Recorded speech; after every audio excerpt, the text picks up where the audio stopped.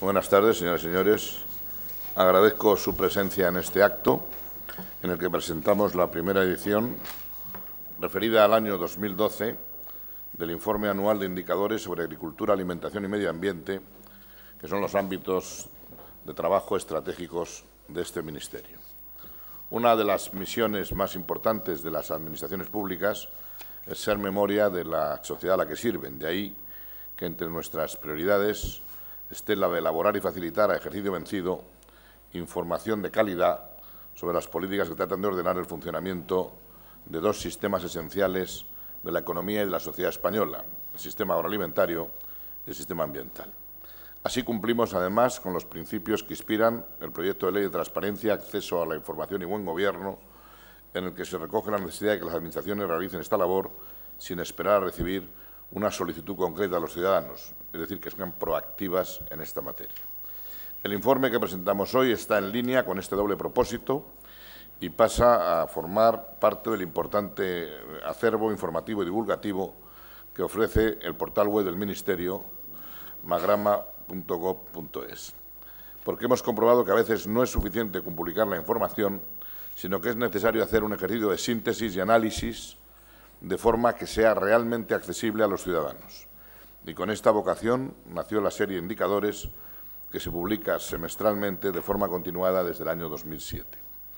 Y ahora nos proponemos dar un paso más, es decir, hacer hablar a los datos, explicar los indicadores utilizados sus fuentes, analizar su situación y su evolución reciente. Con este enfoque, el informe pretende ofrecer, desde una perspectiva económica, una visión sintética y estructurada del sistema agroalimentario en España, así como el sistema ambiental en el que se desenvuelve la vida de nuestra sociedad en sus múltiples facetas. Un indicador proporciona información de manera simple y objetiva sobre un aspecto concreto es como un portavoz que cuenta y agrega lo que dicen los datos y que permite realizar un seguimiento. De esta forma, con la selección de un conjunto de indicadores adecuados que contiene este informe, se puede conocer, analizar, cuantificar y monitorizar el estado de situación de un sistema. En la pantalla que están viendo figuran los capítulos dedicados al sistema agroalimentario y los dedicados al sistema ambiental. Sobre estas bases el reto que nos planteamos es avanzar hacia una visión global de los sistemas agroalimentario y ambiental de España, en que los actores, empresarios de la rama de la producción, la industria, los servicios y los recursos disponibles estén interconectados. Recursos que son factores esenciales para la sostenibilidad de esas actividades y que, por encima de todo, son fundamentales para nuestra calidad de vida. El correcto funcionamiento de estos sistemas es fundamental para lograr un crecimiento sostenible, integrado e inteligente en línea con la Estrategia Europea 2020 que permita mirar al futuro con garantía de éxito. Voy a comentar algunos de los indicadores clave contenidos en el informe. España es un país con un medio rural natural, rico y diverso, y en grandes líneas y de acuerdo con la definición de ruralidad basada en la densidad de población, el 85% del territorio nacional y más del 82% de los municipios tienen características rurales. El entorno rural es el marco de actividades agrícolas, pesqueras, agroalimentarias y silvícolas. Ocupa la actividad agraria el 50% del territorio nacional, porcentaje que sumado a las superficies forestales y áreas seminaturales, alrededor del 40% asciende al 90% del total. Es evidente, por lo tanto, la importancia del uso y el mantenimiento de este extenso territorio, así como el papel crucial que juega la población que habita y trabaja en él el sistema agroalimentario español, englobando en él las actividades agrarias, silvícolas y pesqueras, la industria agroalimentaria, la suministradora de medios de producción y las actividades de transporte y distribución, aportaría en su conjunto cerca del 7,5% del PIB nacional y 1,8 millones de empleos. Y pese a la actual coyuntura económica, el sistema está mostrando fortalezas y resultados económicos positivos. No obstante, nos enfrentamos a retos que requieren de ambición y de un cambio de mentalidad hacia producciones y negocios más orientados al mercado con dos apuestas muy claras, la profesionalización y la internacionalización, que van a ser dos líneas permanentes estratégicas del trabajo de este Ministerio. En efecto, contamos con un sector exterior potente, con una facturación superior a los 36.000 millones de euros en 2012, que nos coloca como octavo país del mundo por importe de facturación que genera un saldo positivo de casi 6.000 millones de euros y que debe continuar afianzando su posición y su imagen en los mercados exteriores, no solo en los tradicionales de la Unión Europea, sino en países terceros.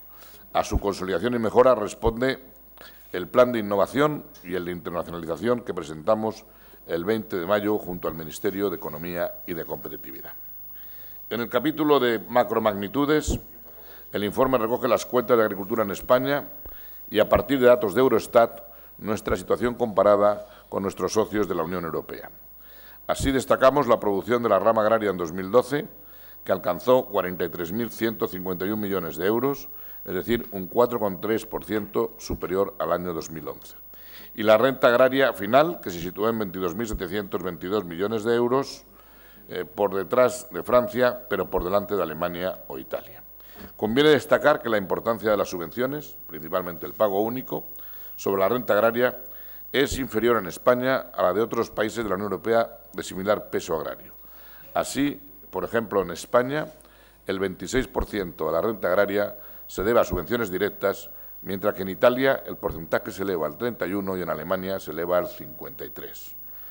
En total, los pagos en forma de ayudas directas de la PAC ascendieron en 2012 a 5.785 millones de euros del Fondo Europeo Agrícola de Garantía, el FEAGA, de los que 75,6% corresponden al pago único. El entorno rural no es solo el ámbito espacial de la actividad agraria, al que bastaría la aplicación de una política de sostenimiento de producciones y mercados, sino que exige también una política de desarrollo rural con una visión más amplia que la meramente agroeconómica.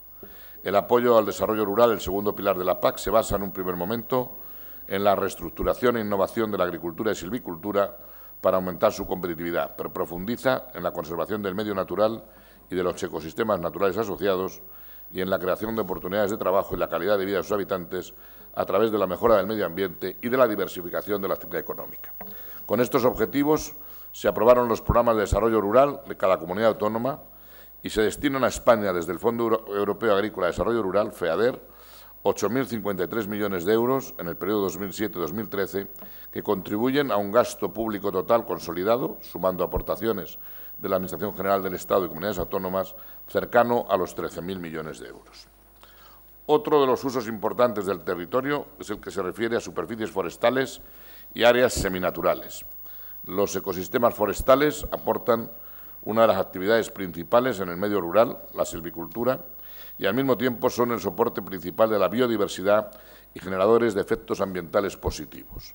Según el mapa forestal de España, estos ecosistemas ocupan 27,7 millones de hectáreas y consciente de su valor ambiental, el 40% de su superficie está contenida en la red de espacios naturales protegidos o en la red Natura 2000. Se trata, además, de ecosistemas muy vulnerables ante fenómenos extremos, particularmente los incendios forestales, y basta recordar las dramáticas cifras de 2012, cuando se vieron afectadas más de 209.000 hectáreas. Voy a detenerme ahora en las costas y el mar. Son igualmente zonas de altísimo valor ecológico donde se concentran actividades fundamentales para nuestra economía y nuestro bienestar. Los ecosistemas marinos son sustento actual y futuro de las actividades pesqueras, un sector que en 2012 contaba con 43.200 activos y una tasa de paro alrededor del 10%. Desde el Ministerio apostamos por la tecnificación y modernización de los buques, lo que ha de redundar en una mejora del valor añadido bruto por buque y un aumento de la renta de trabajo. Al mismo tiempo, la acuicultura crece y se afianza como alternativa. En 2011 se valoró la producción en 569 millones de euros, generando una renta de 173,5 millones de euros, con un aumento de 40,6% sobre 2010. Para abordar los aspectos relacionados con el sistema ambiental, es preciso volver a la cifra que dábamos al inicio sobre la clasificación de ruralidad del territorio según parámetros sociodemográficos. Frente a un 85% del territorio nacional rural, podemos afirmar que cerca del 15% corresponde a zonas urbanas, pero es siendo un espacio relativamente pequeño el de estas, en ellas habitan más del 80% de la población y en algunas ciudades se alcanzan cifras de densidad de población demasiado elevadas.